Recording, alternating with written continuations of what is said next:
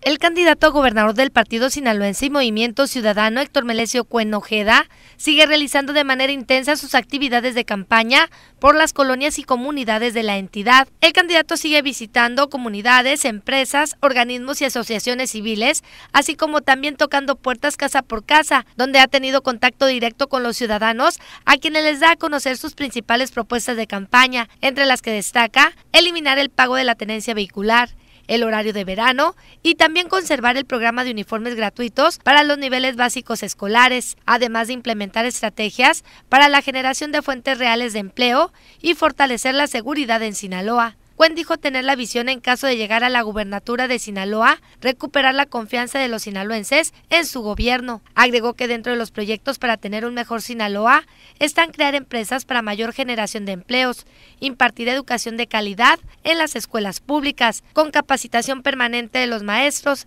para poder evaluarlos, ya que puntualizó que los docentes deben gozar de estabilidad laboral para poder lograr los objetivos de la reforma educativa. Cuen Ojeda realiza diariamente actividades de campaña en diferentes municipios del estado, donde le pide a los ciudadanos su voto de confianza para el Partido Sinaloense y Movimiento Ciudadano, a fin de poder lograr ganar las elecciones el próximo 5 de junio.